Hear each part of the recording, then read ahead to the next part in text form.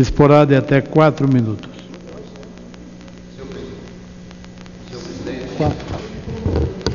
Senhor presidente, é, ocupo, ocupo a tribuna, senhor presidente, para poder é, inicialmente dizer que amanhã nós teremos, é, deputado Leonardo Gadelho, deputado Costa Ferreira, a primeira sessão de apreciação de vetos já com o voto aberto, né, votação nominal.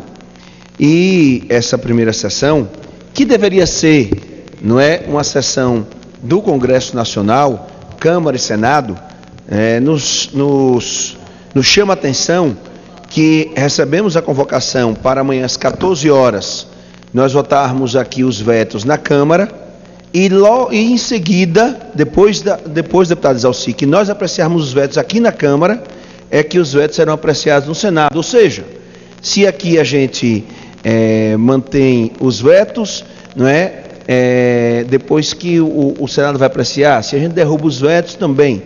Que eu saiba, o regimento é claro, é sessão do Congresso Nacional. Votação é nominal, o voto fechado ele, ele deixa de existir, mas a sessão tem que ser Câmara e Senado. E não amanhã às 14 horas. É, nós nos reunimos aqui para votar nominalmente, o que está correto, acabar com o voto fechado, a gente apreciar aqui e o Senado ficar na posição estratégica. O resultado que der aqui, se não, se não for necessário, não apreciam lá. Então, quer dizer, eu gostaria aqui de chamar a atenção do presidente da casa, deputado Henrique Eduardo Alves, que tem tido sempre uma postura não é muito correta enquanto presidente desta casa, como verdadeiro magistrado, mas nós não podemos admitir que uma sessão do Congresso fique diferenciada e separado. A Câmara aprecia primeiro para depois o Senado apreciar.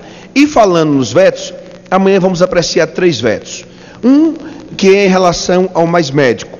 E eu entendo que é, nós não podemos, não é, e temos que derrubar o veto, porque nós não podemos permitir que o médico intercambista é, passe, é, após os três anos do contrato, ele, é, de, prestar, de prestar o serviço aqui no nosso país, ele permaneça no Brasil sem passar pelo Revalida. A mesma coisa é de que foi assumido o compromisso do governo com o Conselho Federal de Medicina de que é, seria é, instalado no país, no prazo de três anos, a carreira médica e o veto também prejudica esse entendimento. Então, entendemos que temos que derrubar o veto em relação ao mais médico. A mesma coisa do RDC em relação aos galpões de estocagem da Conab. Já, de, já demos o RDC aqui para as obras né, das Olimpíadas, da Copa do Mundo, da, da área da educação, mas não podemos também dar o RDC aqui, o regime diferenciado de contratação para a construção de, de, dos galpões da Conab, o que é injusto e não podemos, porque daqui a pouco vamos instalar o RDC para tudo, deputado Costa Ferreira. E aí você esquece a lei de licitação e instala o regime diferenciado para tudo e para qualquer coisa.